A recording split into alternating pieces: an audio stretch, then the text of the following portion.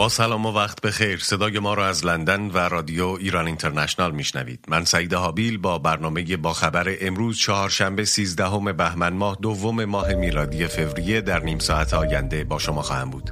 در ابتدا بشنویم از مهمترین عناوین خبری امروز.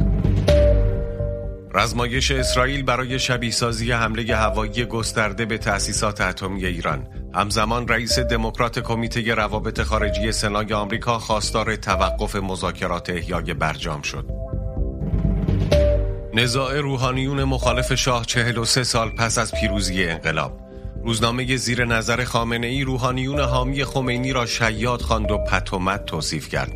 مجمع روحانیون مبارز و مجمع محققین و مدرسین حوزه علمیه قوم از بحرانهای بزرگ کشور گفتند و خودکامگی بیمهار در جمهوری اسلامی.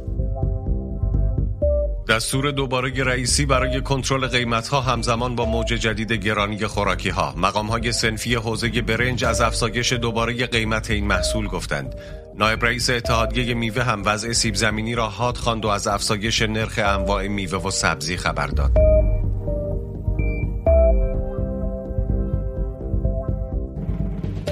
در حالی که مذاکرات احیای برجام در وین بنابر گزارش ها به مرحله اخذ های سیاسی طرفین گفتگو رسیده رسانه های اسرائیلی جزئیاتی از رزمایش مخفیانه و بی سابقه این کشور برای شبیه سازی حمله گسترده به سایت های هسته‌ای ایران منتشر کردند. رزمایشی که بر مبنای این گزارش ها با حضور یک مقام ارشد نظامی ایالات متحده برگزار شده و جنگنده های اسرائیلی در این عملیات پروازهایی به طول مسافت جغرافیایی تهران تا تلاویو را طی کردند.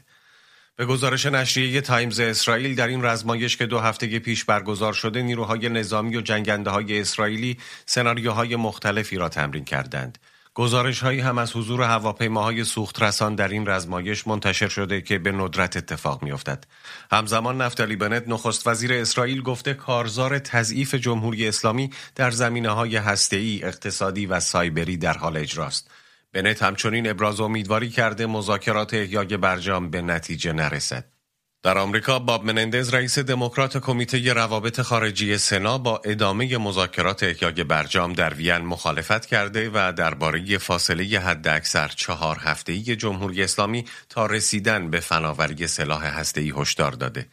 باب منندز در مجلس سنای ایالات متحده با اشاره به اینکه در زمان ریاست جمهوری باراک اوباما هم با برجام مخالف بوده گفت برنامه هسته‌ای جمهوری اسلامی تهدیدی واقعی است و باید از حامیان احیای برجام پرسید به دنبال نجات چه چیزی هستند. او از کشورهای اروپایی هم خواست تحریم‌های پیش از برجام علیه ایران را بازگردانند. همزمان لوید آستین وزیر دفاع آمریکا در گفتگویی با ولیعهد امارات متحده عربی از آمادگی پنتاگون برای دفاع همه جانبه از امارات در برابر حملات حوسی های مورد حمایت جمهوری اسلامی گفت. لوید آستین در گفتگو با محمد بن زاید آل نهیان اضافه کرد ایالات متحده علاوه بر همکاری های اطلاعاتی، پدافندی و اعزام ناو ضد موشک برای حمایت از نیروی دریایی امارات نسل پنجم هواپیماهای جنگنده خود را هم راهی این کشور خواهد کرد. بیشتر بشنویم درباره این رزمایش در اسرائیل و شبیه سازی حمله به تأسیسات اتمی ایران از همکارم اشکان صفایی از بلندی های جولان. بله خب این گزارش رو شب گذشته کانال 11 تلویزیون اسرائیل منتشر کرد. به گزارش کانال 11 این رزمایش دو هفته پیش برگزار شده. در اون جنگنده های اسرائیلی در واقع حمله گسترده به تأسیسات اتمی ایران رو تمرین کردن. سناریوهای مختلف رو تمرین کردن. از جمله اینکه سوختگیری هوایی همونطوری که گفتید یکیش بوده مقابله با ضد هوایی یکی دیگرش بوده و همچنین حملات از راه دور رو هم تمرین کردن و به گفته کانال 11 یک مقام در واقع یک فرمانده ارشد نیروی هوایی ایالات متحده هم در این رزمایش حضور داشته به عنوان ناظر. اما باید گفت که هفته پیش هم گزارش های در واقع کوتاه اینور و اونور منتشر شده بود از اینکه نیروی هوایی اسرائیل یک رزمایشی رو بر فراز مدیترانه انجام داده. رزمایشی که اون موقع گفته شده بود که تعداد غیر غیر معمولی از جنگنده های F15 F16 و F35 اسرائیلی به علاوه در واقع همون هواپیماهای سوخترسان قدیمی اسرائیل در اون حضور داشتن. ناظران دو سه نکته رو در مورد این رزمایش میگن. یکی اینکه استفاده از این هواپیماهای سوخترسان در این رزمایش رزمایشی که بزرگ هم توصیف شده می‌تونه نشان دهنده این باشه که اسرائیل با جدیت داره خودش رو برای حمله به تاسیسات اتمی ایران آماده می‌کنه یا اینکه اسرائیل این رزمایش رو به این شکل انجام داده که در واقع به دنیا بگه که من دارم با جدیت خودم رو آماده می‌کنم برای حمله به ایران که اونها در واقع موضع سختری رو در مذاکرات اتمی با جمهوری اسلامی بگیرن و حضور این مقام آمریکایی هم به گفته ناظران نشانه این هست که اسرائیل و آمریکا دارن گام های بیشتری رو برمیدارن برای آمادگی برای حمله احتمالی نظامی به ایران. توضیحات همکارم اشکان صفایی از بلندی های جولان رو میشنیدید. در ادامه ارزیابی افشین شاهی استاد روابط بین الملل رو در رابطه با رزمایش اسرائیل برای شبیه سازی حمله هوایی گسترده به تأسیسات اتمی ایران جویا شدیم و پرسیدیم حضور یک مقام آمریکایی در این رزمایش چه معنایی دارد؟ به رقم وسعت و پیچیدگی این شبیه سازی نظامی که ظاهرا ده روز پیش صورت گرفته که از طیف وسیع از جنگنده های F-14 و F-15 و F-35 استفاده شده اما در نوع خودش شاید لزوما اتفاق جدیدی نباشه. ما در یک سال گذشته هم شاهد مانورهای نظامی دیگه اسرائیل با همکاری کشورهای دیگه بودیم که به نظر می رسید هدف اصلی اون آماده سازی برای مقابله با تهدیدات موشکی و هسته‌ای جمهوری اسلامی. اما خب نکته که به نظر من جالب هست و نکته که می‌تونه شرایط رو به شکلی متفاوت بکنه حضور یک مقام نظامی در این رزمایش نظامی هست. به نظر میاد که در چند ماه گذشته ما شاهد چرخشی در روابط اسرائیل و ایالات متحده در مورد مناقشات هسته‌ای جمهوری اسلامی هستیم. فراموش نکنیم که در ماه دسامبر گزارش شد. حتی به مدت سه هفته آقای جو بایدن به تلفن‌های نخست وزیر اسرائیل حتی پاسخ نمی‌داد. اختلاف نظرهای جدی بین این دو دولت در مورد برنامه های هسته‌ای وجود داشت. یک دیپلماتی یک ترافیک در واقع دیپلماتیکی صورت گرفت. مقامات مختلفی از این دو کشور با هم دیدار کردند. به نظر می‌رسه که در چند ماه گذشته یک چرخشی به وجود اومده و موضع این دو کشور تا حدی با هم نزدیکتر شده. توضیحات افشین شاهی استاد روابط بین الملل در دانشگاه برادفورد از لندن رو میشنیدید. درباره واکنش باب منندز از آرش آرامش حقوقدان و کارشناس امنیت ملی پرسیدیم چقدر این موضع او اهمیت دارد و چقدر می تواند بر روی کرده دولت بایدن در مذاکرات احیای برجام اثر بگذارد؟ در سنای آمریکا در کمیته سیاست خارجه 22 عضون الان که سنا 50 50 هست و با رأی معاون رئیس جمهور اکثریت دست دموکرات هاست. با این وجود در کمیته ها هنوز 11 عضو دموکرات دارد 11 عضو جمهوری خواه رئیس این کمیته آقای باب منندس هست از نیوجرسی و معاون رئیس یا بالاترین جمهوری خواه آقای رابرش هست از ایالت آیداهو صحبت های آقای منندز تازگی نداره. آقای منندز با کلا آن سیاست و جهانبینی سیاسی آقای بلینکن یا آقای بایدن یا به خصوص آقای, با آقای ملی بسیار مخالف است. آقای منندز بیشتر طیف خانم هیلاری کلینتون از لحاظ سیاست خارجی رو میپسندد. و خیلی هم بالاخره نزدیک است. معذرت می‌خوام به رئیس دموکرات های سنا آقای چاک شومر از ایالت نیویورک. در حزب دموکرات چه در مجلس نمایندگان؟ در اون 220 نماینده دموکرات مجلس از 435 نفر یا از سناتورهای دموکرات کم نیستن افرادی که یا منتقدن بر سیاست های خارجی آقای بایدن یا کاملا مخالف. به خاطر همین یک همچین صحبتی که از آقای باب ملندز میاد و بقیه دموکرات های در اون کمیته مثل آقای ارز کنم به حضور شما کاردن از ایالت مریلند بن هالن از ایالت مریلند و غیر روزالک. تنها کسی که اینجا توی کمیته از دموکرات می‌بینم که خیلی خوشبین تر است آقای کریس مرفی هست از ایالت کنریکت. از اون طرف در قسمت جمهوری خواهم آقای رند پال از ایالت کنتاکی هست که کلا ایشون با حضور خارجی ایالات متحده اصلا کلا میونه خوشی نداره. برگردم به سوال شما خیلی دوباره خلاصه. بل به نظر من این یک زنگ خطری است برای سیاستگزاران کاخ سفید که حتی در خود حزب دموکرات هم مخالفان بسیاری هستند در مورد اینکه با جمهوری اسلامی برخورد محکم با آنچه که باید شاید بشه نشه. توضیحات آرش آرامش حقوقدان و کارشناس امنیت ملی از لندن رو میشنیدید. 43 سال پس از پیروزی انقلاب 1357 کیهان روزنامه ای که زیر نظر علی خامنه ای رهبر جمهوری اسلامی منتشر می شود مجمع روحانیون مبارز و مجمع مدرسین و محققین حوزه علمیه قوم را شیاد خواند و پتومت توصیف کرد.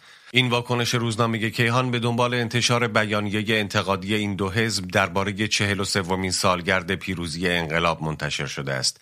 روزنامه زیر نظر خامنه ای دو تشکیلات روحانیون حامی خمینی را احزاب چند نفره دانسته و آنها را به پزشکانی شیاد تشبیه کرده است. مجمع روحانیون مبارز و مجمع مدرسین و محققین حوزه علمیه قوم در بیانیه مشترک به مناسبت 43 سالگرد پیروزی انقلاب 57 از نقض حقوق شهروندان انتقاد و درباره خودکامگی بیمهار در جمهوری اسلامی هشدار دادند. در این بیانیه تاکید شده کشور با بحرانهای بزرگی در عرصه های اقتصادی، سیاسی و بین المللی روبروست و بخش مهمی از جامعه زیر خط فقر به سر می‌برند. مجمع روحانیون مبارز و مجمع محققین و مدرسین با اشاره به فقیرتر شدن طبقه متوسط در کشور از افزایش مهاجرت و کاهش سرمایه های اجتماعی و مادی و نبود حکمرانی خوب در کشور انتقاد کرده است. در بیانیه مشترک این دو جمعیت همچنین تاکید شده که اکثریت مردم ایران به بحانه های مختلف برای حکومت خودی محسوب نمی شوند. از رضا علیجانی فعال و تحلیلگر سیاسی درباره بیانیه مجمع روحانیون مبارز و مجمع محققین و مدرسین حوزه علمیه قوم پرسیدیم و اینکه چطور این روحانیان همراه انقلاب چنین انتقادهایی از جمهوری اسلامی دارند. این دو نهاد روحانی البته اصلاح طلب هستند و بعضا نزدیک به آقای منتظری. اینکه آمدن توضیح دادن وضعیت اقتصادی کشور و نارضایتی مردم و انحرافی که بعد از انقلاب وجود اومده و مسائل از این دست خب شرح بعضی مسائل بسیار بدیهی است که همه مردم از اون مطلع اما اینکه دو تا نهاد روحانی ببینید احزاب اصلاح طلب هم الان خب خیلی با ملایمت حرفاشون رو می‌زنن و گهگاه هم سکوت می‌کنن. ولی اونها هم به حال وضعیت کشور رو بحرانی ارزیابی می‌کنن. ولی از روحانیون که یه مدار محافظه کارتر هم هستن این صدا شنیده میشه خب قابل توجه و تحمل هست. اما تصویری که از کشور میدن تفاوت تفاوت چندانی نداره. مثلا با اسنادی که همین امروز منتشر شده و جلسات نهادهای امنیتی رو با همدیگه به اصطلاح ترسیم می‌کنه که در اونجا چه نگرانی هایی دارن نسبت به شورش های اجتماعی و اینکه نارضایتی و شورش زیر پوست جامعه است. و حتی تصویری که آقای خامنه‌ای در آخرین سخنرانیش داد شاید آمار ارقام و اعدادی که آقای خامنه‌ای از رو نوشته خون خیلی مورد توجه رسانه ها قرار نگرفت. اون آمار ارقام بسیار وحشتناک بود. آقای خامنه‌ای هم با نرمترین کلمه گفت ناپسند است. اما اون چی که امروز در تیتر یک کیهان دیده میشه بحث سر این نیست که اوضاع خیلی بده. بحث سر اینه که این اوضاع تقصیر کیه؟ کیهان در تیتر یکش نوشته که بیاعتنایی غرب گرایان به اقتصاد مقاومتی راز افول اقتصاد در دهه نفت دهه 90 این نوشته رو سرویس اقتصادی کیهان تهیه کرده. آمار ارقام به همین وحشتناکی رو آورده ولی می‌خواد بگه که گردن اصلاح طلبها و دولت روحانی و دولت روحانی ایران رو بهشت سرمایه گذاران خارجی کرده. خب این شگفت انگیزه و ظرفیت های کشور رو زیر سیمان دفن کرده. و چیزی که می‌خواد یک توهم ویرانگری است به اسم اقتصاد مقاومتی. خب حالا آقای رئیسی دولت به حال طرفدار اقتصاد مقاومتی سر کار اومده پروندهش رو خواهیم دید. اما اجازه بدید من یه اشاره بکنم به سخنرانی که آقای خامنی که همین چند روز پیش با کارآفرینان داشت سال 88 با همین افراد داره. یعنی اون موقعی که دولت خودش سر کاره. میگه که ما در آستانه یک جهش بزرگ اقتصادی قرار داریم. از هر گوشه مملکت کار میجوشد مدیریت قوی داریم فلان تولید رو داریم. خب اون دولت شما که دولت اقتصاد مقاومتی بود و در شرایطی هم بود که نفت بالای 100 دلار فروش می‌رفت دیدیم چه افتضاحی به بار آورد. پایین ترین آمار اقتصادی بالاترین سوء مدیریت و فساد رو در اون دولت دیدیم. حالا اینجا در واقع کیهان نوعی به فرار به جلو کرده و برای اینکه آقای خامنی و حکومت رو تبرئه بکنه دولت رو زیر دولت اصلاح طلبا رو زیر مشت گرفته و البته شاید بگی نوعی به در بگه دیوار بشنم هست. توضیحات رضا علیجانی تحلیلگر سیاسی از پاریس رو میشنیدید. از مهدی مهدوی آزاد روزنامه‌نگار در رابطه با حمله کیهان به این دو حزب که اعضای آن روحانیون حامی انقلاب هستند پرسیدیم و اینکه آیا شاهد نزاع بین روحانیون 43 سال پس از پیروزی انقلاب هستیم؟ بله برای کسانی که نمی‌دونن توضیح بدم که این دو تشکل یعنی مجمع روحانیون مبارز و مجمع مدرسین و محققین حوزه علمی قم در واقع بال چپ حکومت اسلامی جمهوری اسلامی ایران هستن. درسته که الان اغلب روحانیونی که تو این تشکل ها هستن یا کار مشخصی در واقع مقام رسمی ندارن بعضیشون تحت فشارن بعضیشون در حصر خانگی هستن یه جوری مثل آقای کروبی. اما در دهه اول انقلاب اینها اتفاقا دست برتر رو داشتن در قدرت و, و اگر بخواید در مورد پدیدارشناسی جمهوری اسلامی صحبت کنید نمی‌تونید چنین جریان نادیده بگیرید. در واقع مجمع روحانیون مبارز بال چپ جامعه روحانیت مبارز هست که از اون انشاب شد انشاب کرد. و مجمع محققین و مدرسین حوزه علمی قم که سال 76 درست شد بعد از پیروزی آقای خاتمی در واقع آلترناتیو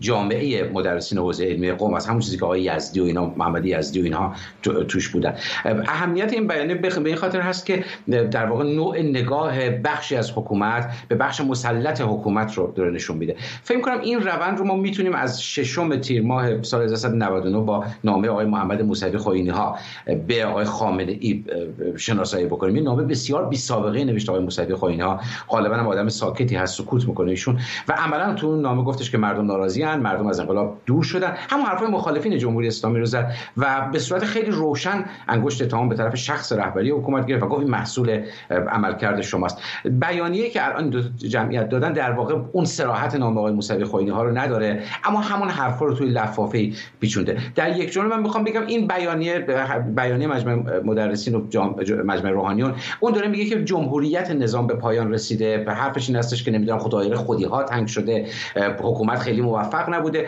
منتها از نگاه بیرون اگر نگاه کنید جایی که من هستم این بیانیه نشانه از این هست که چیزی به نام جمهوری اسلامی یا اون نظم سابق جمهوری اسلامی دیگه وجود نداره به پایان رسیده. توضیحات مهدی مهدوی آزاد روزنامه نگار از بن آلمان رو میشنیدید. بر اساس رنگبندی نرم افزار ماسک وابسته به وزارت بهداشت و درمان تهران مشهد و هشت مرکز استان دیگر با افزایش آمار مبتلایان به کرونا در وضع قرمز قرار گرفتند همزمان محسن منصوری استاندار تهران از افزایش 61 درصدی شمار بستری شدگان کرونا نسبت به هفته گذشته خبر داد بهرام اللهی وزیر بهداشت و درمان هم بر اجرای محدودیت های کامل به خاطر شیوع سویه اومیکرون تاکید کرده و در این حال گفته ستاد ملی کرونا برخی پیشنهادهای وزارت بهداشت را تصویب نمی کند. مسعود مردانی عضو ستاد ملی مقابله با کرونا هم با اشاره به افزایش آمار مبتلایان به سویه جدید کرونا از اوجگیری شمار بیماران در هفته های آینده گفته و بر ضرورت افزایش محدودیت ها تاکید کرده است.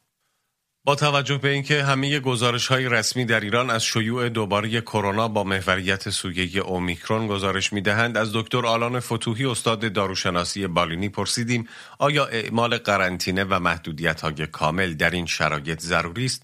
یا به شکل دیگری هم امکان کنترل همهگیری وجود دارد؟ تجربیاتی که وجود داره در مورد مقابله با پیک های جدیدی که شروع میشه بسیار زیاد هست و هیچ گونه ابهامی در این که چه نوع اقداماتی لازم هست انجام بشه وجود نداره. فقط شدت و ضعف اقدامات بر اساس توانایی ویروس در گسترش و امکاناتی که وجود داره برای محدودسازی تجمعات و قرنطینه ها ممکنه متفاوت باشه.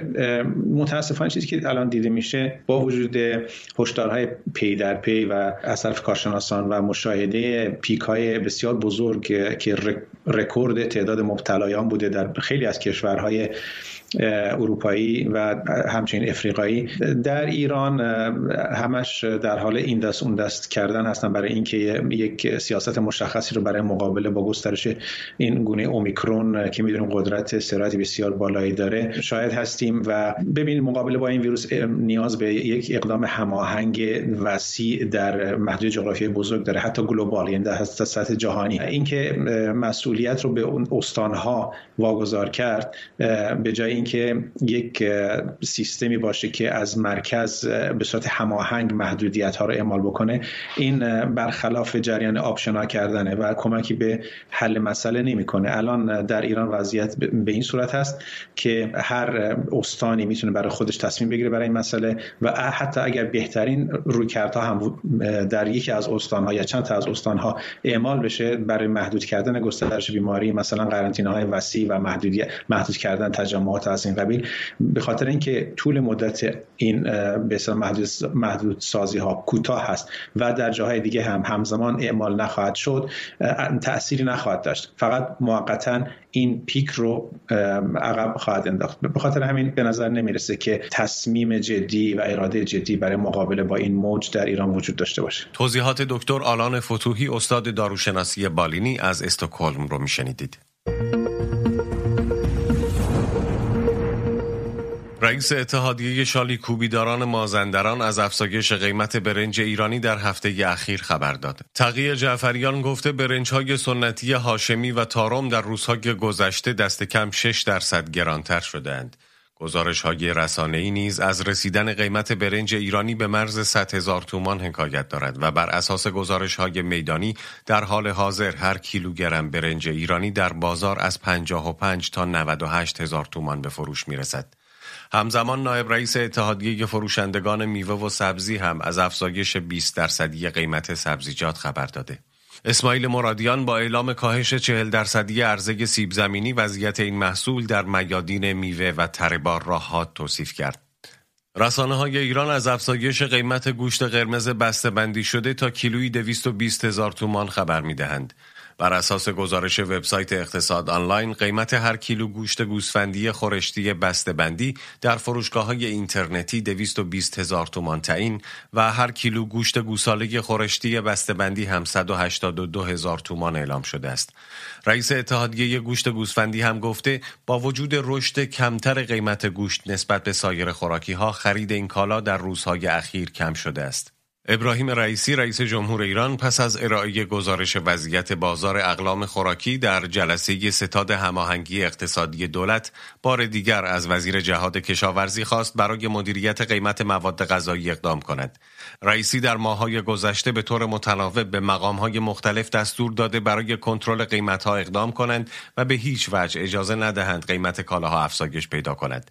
آخرین گزارش مرکز آمار ایران نشان می‌دهد نرخ تورم سالانه در گروه خوراکی ها و آشامیدنی ها در دی ماه سال جاری بیش از 56 درصد بوده و افزایش قیمت ماهانه بعضی اقلام این گروه مانند نان و غلات بیش از 4 درصد بوده است. از آرش حسنیا روزنامه‌نگار اقتصادی پرسیدیم آخرین آمار رسمی از قیمت خوراکی ها چه تصویری از وضعیت این حوزه به ما ارائه می‌دهد خب در گزارش مرکز آمار ایران از نرخ تورم دیما هم ما به این اشاره کردیم در اون گزارش هم آمده بود که هم سیر نرخ تورم ماهانه و هم نرخ تورم نقطه به نقطه سیر معکوسی نسبت به ماهای قبل شده و در واقع روند شتابان نرخ تورم ماهانه و نقطه به نقطه از سر گرفته شده. که نشانه این بود در ماه بعدی که بهمن ماه باشه و روزهای آتی تورم با شتاب بیشتری افزایش پیدا بکنه. در این میان نرخ تورم نقطه به نقطه گروه خوراکی ها 43 درصد و تورم سالانه این گروه بیشتر از 56 درصد اعلام شده بود که خب بالاتر از میانگین های شاخص کل بود. نرخ تورم نقطه به نقطه گروه خوراکی 7 واحد درصد بیشتر و تورم سالانش 14 واحد درصد بالاتر از میانگین کل بود. باز این هم نشانه از این بود که تورم در حوزه خوراکی ها با شتاب بیشتری در حال افزایش هست توضیحات آرش حسنیا روزنامه نگار اقتصادی از پراگ رو میشنیدید. همزمان با روز جهانی تالاب ها یک بومشناس ایران اعلام کرد 25 تالاب کشور به شکلی تخریب شدند و حالت طبیعی خود را از دست دادند. اسماعیل کهرام گفته ممکن است به زودی همه طالاب های کشور در معرض خشکی کامل و نابودی قرار گیرند. او اضافه کرده طالاب انزلی زمانی که به عضویت کنوانسیون رامسر درآمد 21 هزار هکتار بوده و مساحت آن در حال حاضر به کمتر از 9 هزار هکتار رسیده و در حال خشک شدن است. از منصور سهرابی متخصص بومشناسی و محیط زیست پرسیدیم با توجه به اینکه به نظر می رسد تمامی های ایران در خطر خشکیدگی و از بین رفتن هستند آیا تنها دلیل این وضعیت خشکسالی است یا ها با سوء مدیریت به این سرنوشت دچار شدند طالاب ها نقش بسیار ارزنده ای در حفظ حیات وحش و تنوع زیستی دارند. طالاب ها همچنین خودتون مستظر هستید قبل از اینکه جمله‌مو بگم که ما در بسیاری از جاهای ایران بعضی از فصول در درگیر سیلاب هستیم. طالاب ها نقش بسیار ارزنده ای دارند در کنترل سیلاب. طالاب ها نقش مهمی دارند در تعدیل آب و هوا و میکروکلیمای منطقه. وقتی که طالاب ها از بین برن اون آب و هوا هم تغییر پیدا خواهد کرد و اثرات مخربی داریم. اینکه می‌بینیم در بعضی از جاها گرد و غبار رو شاهدش هستیم. طالاب ها نقش بسیار بسیار مهمی دارند در اقتصاد منطقه. با توجه به اینکه می‌تونن از ظرفیت اکوتوریستی طالاب ها استفاده بکنن. لذا من فکر می‌کنم که طالاب ها نقش بسیار بسیار مهمی و در زندگی مردمانی دارن که در اونجا زندگی می‌کنن در کنار طالاب ها هستند و نقش اکولوژیکی بسیار ارزنده ای هم داره. توضیحات منصور سهرابی متخصص بومشناسی و محیط زیست رو میشنیدید. فعالان حقوق زن افغان در نشست دو روزه پارلمان اروپا با موضوع زنان افغانستان طالبان را به نقض حقوق زنان و آپارتاید جنسیتی متهم کردند. رئیس پیشین کمیسیون مستقل حقوق بشر افغانستان با تاکید بر اعمال تبعیض‌های گسترده جنسیتی در حکومت طالبان گفت این واقعیت که در سال 2022 دختران نتوانند به مدرسه بروند غیرقابل تصور است. در این اجلاس شخصیت های سیاسی و فرهنگی مانند معاون دبیر کل سازمان ملل، رئیس کمیسیون اروپا و آنجلینا جولی بازیگر مشهور سینما شرکت کردند. به گفته مقام های اتحادیه اروپا این کنفرانس بر وضعیت زنان و دختران و چگونگی کمک به آنان بعد از بازگشت طالبان به قدرت متمرکز است. رئیس پارلمان اروپا با محکوم کردن تبعیض علیه زنان در حکومت طالبان گفت اروپا در قبال حقوق زنان در افغانستان موضع محکمی خواهد داشت. همزمان با ادامه انتقادهای بین المللی از وضع حقوق زنان در افغانستان همزمان با حکمرانی طالبان خبرگزاری رویترز گزارش داد. با بازگشایی دانشگاه ها در افغانستان دانشجویان زن هم در کلاس ها شرکت کردند.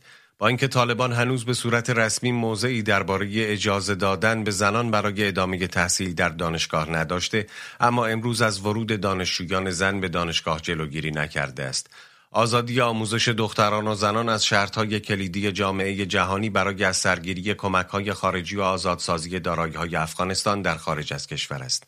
بیشتر بشنویم از دیدگاه های مردم و شرکت کنندگان در نخستین روز این نشست از همکارم سوفیا سخی از بروکسل. امروز دوم فبروری برابر است و دومین روز نشست روزهای زنان افغان اینجا در بروکسل در پارلمان اتحادیه اروپا. این نشست در حال برگزار می گردد که در افغانستان تعداد از بانوان از ابتدایی ترین حقوقشان که حق کار و تحصیل از باز ماندند و همچنان در روز نخست این نشست صحبت های از رئیس پارلمان اتحادیه اروپا بانو روبرتا متسولا در رابطه با بانوان افغانستان و همچنان در رابطه با تحصیل بانوان افغانستان و ای که افغانستان از یک جامعه مترقی و پویا حالا در وضعیت خیلی بورانی قرار داره. صحبت شد و همچنان مصاحبه که افغانستان اینترنشنال با معاون پارلمان اتحادیه اروپا داشتن اینا هدفشان را از برگزاری این نشست واضح ساختن و گفتن هدف برگزاری نشست روزهای زنان افغانستان اینجا در بروکسل. در برگیرنده موضوعات است که از این نشست ای بانوان باید بیاموزند و همچنان صحبت کنند و در نتیجه نتیجه باید این شرایط و صحبتایی که میشه جامعه عمل پوشانده شود و در افغانستان عملی شود. چنان اینا از طالبان خواستند که باید مانع کمک های در افغانستان نشن و در صورتی که اگر با طالبان صحبت شود اونا باید در با در نظر داشته بعض از شرط شروط باشن که طالبان باید با او شرط شروط استاد باشن و دخلافی نکنند توضیحات همکارم سوفیا سخی از بروکسل رو میشنیدید.